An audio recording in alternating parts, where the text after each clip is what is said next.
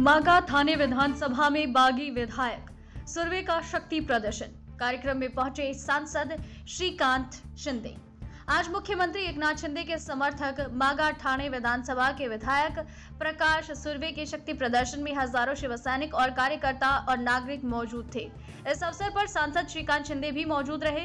इस अवसर पर प्रकाश सुरवे ने जहाँ महाविकास अघाड़ी सरकार पर कई तरह के आरोप लगाए हैं वहीं एरिया की समस्या को सांसद श्रीकांत शिंदे के सामने रखा। श्रीकांत शिंदे ने कहा, इस ढाई साल के अंदर ही लोगों की समस्या को दूर करने की कोशिश की जाएगी। नवभारत समाचार के लिए मुंबई से शिवशंकर तिवारी की रिपोर्ट।